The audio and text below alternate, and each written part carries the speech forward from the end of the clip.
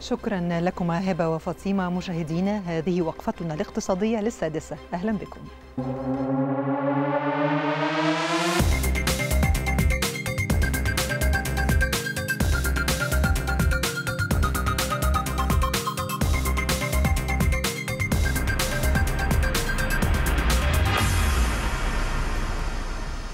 أطلق مركز المعلومات ودعم اتخاذ القرار بمجلس الوزراء برنامجا جديدا على منصته الرقمية بمواقع التواصل الاجتماعي تحت مسمى ببساطة.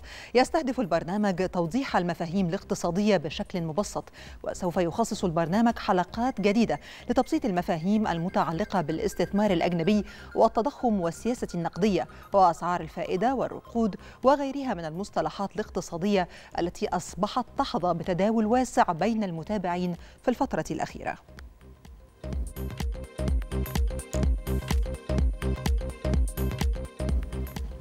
أكد وزير البترول طارق الملا حرص قطاع البترول على التعاون وتوفير أوجه الدعم للشركة الصينية نورث بتروليوم انترناشونال التابعة لمجموعة زنهاو في ضوء خططها التوسعية في مصر. وخلال لقائه رئيس الشركة أشاد الملا بالتزام الشركة الصينية في أعمالها واستثماراتها خلال الفترة الماضية كشريك هام لقطاع البترول في بعض مناطق إنتاج البترول والغاز بالصحراوين الشرقية والغربية. من جانبه أكد رئيس الشركة الصينية أن الشركة التي يمتد نشاطها عالميا في ثمان دول تتطلع لتعزيز تواجدها والتوسع في مصر في مناطق جديدة وضخ استثمارات لزيادة إنتاج البترول الخام لافتا إلى توجه الحكومة الصينية لزيادة التعاون الاستراتيجي مع مصر خاصة في قطاع البترول والتوسع في العمل معها.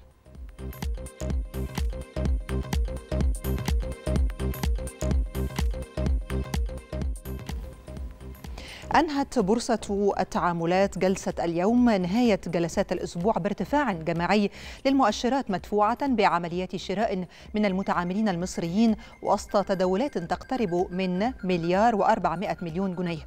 وربح رأس المال السوقي 8 مليارات جنيه ليغلق عند مستوى 1.168 تريليون جنيه. هذا وارتفع مؤشر EGX 30 بنسبة 1.16 من 100% ليغلق عند مستوى 17342 نقطة.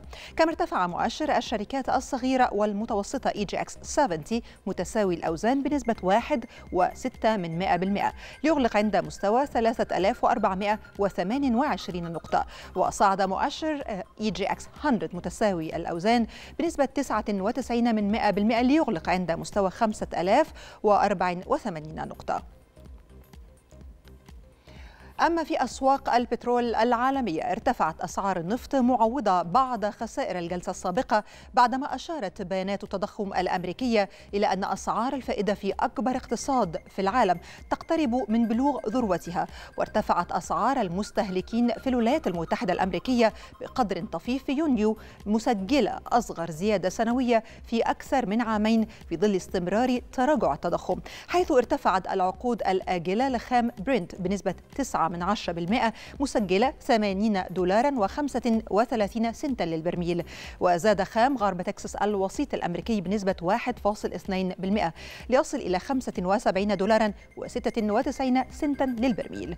كما ارتفعت أسعار المازوت عالميا بنسبة 1.10% لتصل إلى دولارين و63 سنتا للتر هذا وانخفضت أسعار الغاز الطبيعي بنسبة 2.25 من 100% لتسجل دولارين و22 67 سنتا لكل مليون وحدة حرارية بريطانية. قال وزير المالية البريطاني جيريمي هانت إن ارتفاع التضخم ما زال يعيق النمو الاقتصادي بعد أن أظهرت أحدث بيانات انكماش الاقتصاد في مايو. وأضاف هانت في بيان إنه بينما كان لعطلة البنوك الإضافية تأثير على النمو في مايو يظل التضخم المرتفع عائقا أمام النمو الاقتصادي. وقال مكتب الإحصاءات الوطنية إن إنتاج الاقتصاد انخفض بنسبة 1 من 10% في مايو على أساس شهري بعد نموه 2 من 10% في الشهر السابق.